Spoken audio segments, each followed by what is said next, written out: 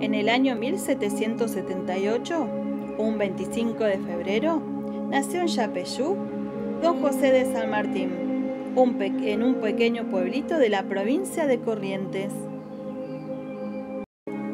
A la edad de los cuatro años, se trasladó con sus padres a la ciudad de Buenos Aires y dos años después partieron en una fragata hacia España. Allí, con su papá y sus hermanos, eligió la carrera de militar. Extrañaba mucho a su patria. Quería trabajar y hacer cosas por todos los argentinos. Entonces decidió regresar.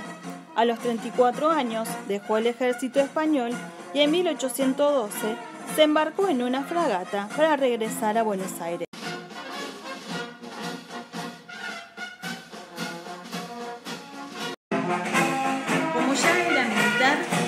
Otros soldados el cuerpo de granaderos a caballo para luchar por la independencia de los pueblos americanos. Se presentó ante las autoridades del primer triunvirato y el gobierno aceptó su propuesta y lo nombró teniente coronel. Eligió a cada uno de sus hombres no solo por su físico, sino por sus valores morales.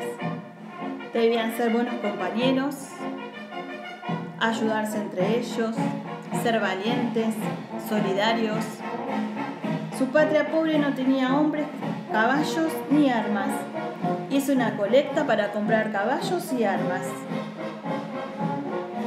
Y creó un verdadero ejército de soldados valientes y disciplinados.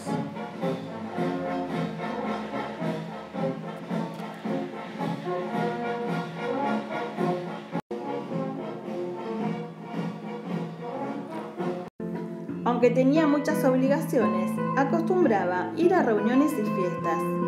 Allí conoció a Remedios de Escalada, una joven muy linda de tan solo 15 años. Se casó y tuvo una hija a la que llamaron Mercedes Tomasa de San Martín. En 1817, las damas mendocinas donaron sus joyas y todo lo que tenían para crear la bandera que representaba a los soldados. Junto con el apoyo de todo el pueblo, que donó todo lo que podía, caballos, mulas, armas, alimentos, uniformes, el ejército de los Andes se puso en marcha para cruzar la cordillera.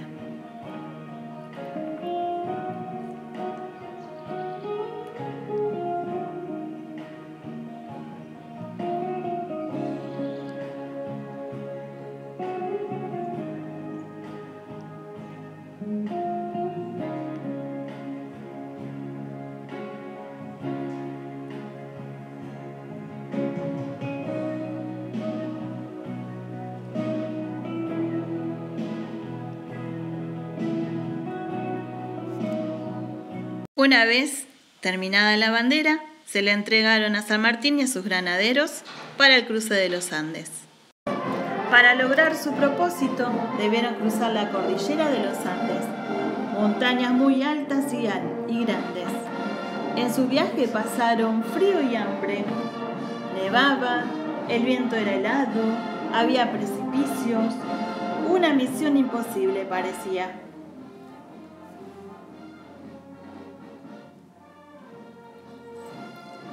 Pero San Martín y sus granaderos lograron liberar a Chile y Perú.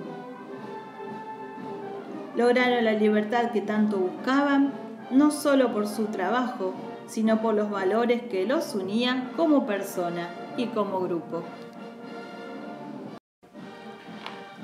En 1825 escribió las máximas para Merceditas,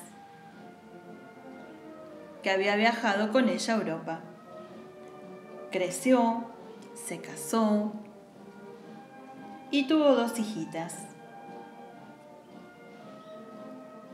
Don José, abuelo cariñoso, pasó sus últimos días junto a ellas hasta su muerte el 17 de agosto de 1850. Sus restos fueron trasladados 30 años después a Buenos Aires. El general San Martín, héroe máximo de la independencia, es hoy más que nunca un ejemplo de moral y patriotismo.